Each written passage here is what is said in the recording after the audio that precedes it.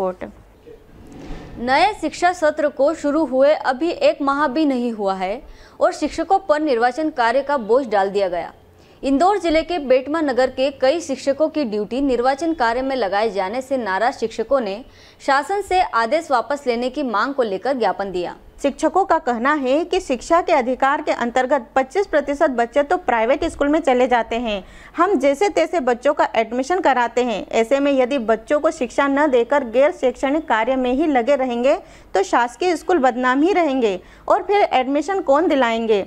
हमारा स्कूल अब उत्कृष्ट विद्यालय बना दिया गया है, जिसमें शाला सिद्धि, दक्षता, संवर्धन जैसे कई कार्य होते हैं।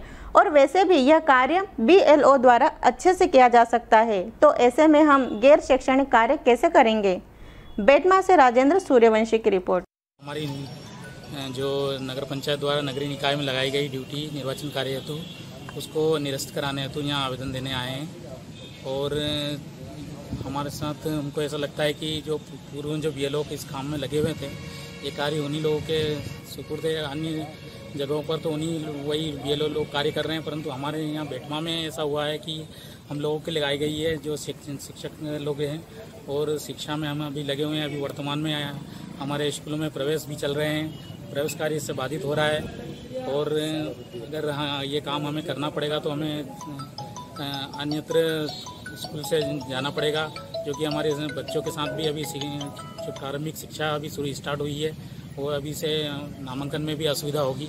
इससे हमारा निवेदन है कि एस महोदय हमारी जो इस इस कार्य से हमें मुक्त करें और जो वर्तमान में जो बी इस कार्य को कर रहे हैं वही कार्य इसके वही करें ज़्यादा अच्छा होगा आपका नाम और पद बता दीजिए। अशोक चौहान माध्यमिक शिक्षक बेटना नामावली के प्रकाशन के लिए आ, बहुत सारे टीचर्स की ड्यूटी लगाई गई जबकि वो शासन के निर्देशानुसार गलत है।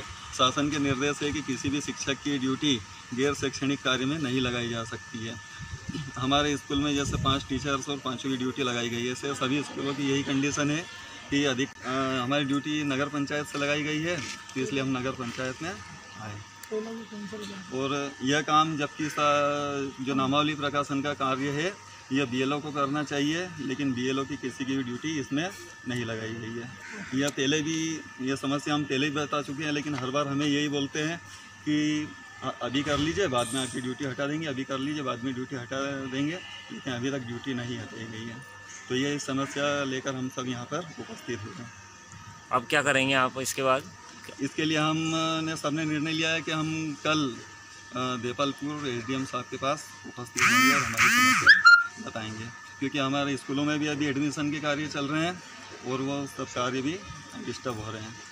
तो हमारे नगर परिषद के निर्वाचन कार्य में लगाई गई है और इससे हमारे स्कूल का बहुत नुकसान हो रहा है, बच्चों का नुकसान हो रहा है और हम ये चाहते हैं कि ये कार्य जो पूर्व में विधानसभा और लोकसभा में जो कार्य कर रहे थे, उन्हीं की वापस इसमें लगाई जाए और हमें बच्चों का जो नुकसान हो रहा है वो नुकसान नहीं होगा। आपका नाम और पद बता अनिल परमार माध्यमिक विद्यालय बेटना।